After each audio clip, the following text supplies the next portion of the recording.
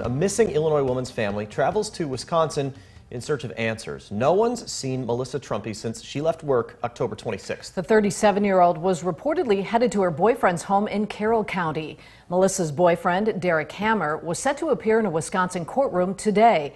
Rachel Perry was there, and Rachel, Melissa's family left disappointed yeah, Mimi and Eric, they wanted to confront Hammer, and they tell me they believe he knows where Melissa is. Court documents show Hammer has a history with her. He went the next day and told his teacher that he'd witnessed his mother being struck in the face by Derek Hammer. Just more than a month before Melissa Trumpy was last seen, her boyfriend Derek Hammer was charged with domestic abuse. His arrest came after Melissa's son told his teacher he saw Hammer yelling at Melissa before the night turned violent. And Derek pointed a shotgun at Melissa in front of uh, my six-year-old son Mateo.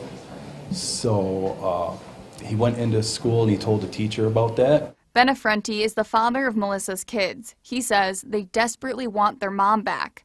It's, it's hard, I mean, it's heartbreaking. I had my daughter wrote a uh, Christmas wish list to Santa Claus a couple days ago and came and handed me to that.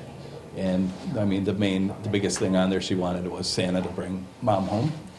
Melissa's family and friends believe Hammer knows where she is. They showed up to his domestic violence hearing in Green County in Wisconsin Wednesday, expecting to confront him, but were mad when they learned he wasn't there. He's in custody in Carroll County on other charges. So we were really hoping to just look him in the eyes and let him see us see him, you know, and make him make him look at us and think about what he's done. Melissa's sister, Mandy and Imboge, says she doesn't understand where she could be. She doesn't have any means of money or um, a vehicle or anything like that. So she's, we just need her, but we have everything else of hers.